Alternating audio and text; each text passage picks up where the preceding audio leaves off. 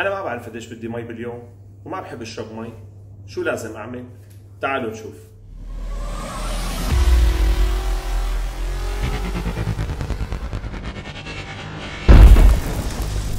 موضوعنا اليوم عن المي وشرب المي وعن الأشخاص اللي ما بتحب تشرب مي. شو الحل البديل لها لأعرف جسمي قديش بده مي.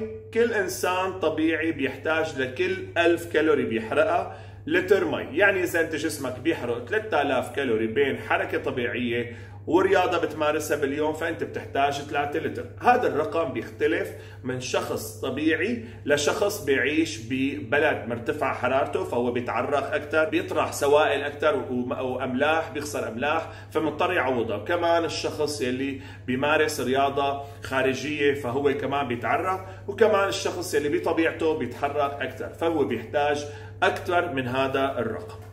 هلا الناس اللي ما بتحب تشرب مي لأنه ما لها نكهة أو هي ما بتحب تشرب مي شو الحل البديل؟ الحل البديل في خضروات وفي فواكه بتقدر تعوضني وعن آه عن المي اللي أنا ما بشربها وبتقدر تغطي احتياجات جسمي من المي. مثل هاي الفواكه في الطماطم البطيخ الخيار الخس. هدول فيهم نسبة 96% مي. فأنت إذا أنت ما بتحب تشرب مي فيك تاكل هدول الأكلات أو الخضروات وتعوض عن المي اللي جسمك بيحتاجها. شكرا لكم وبنشوفكم بفيديو جديد.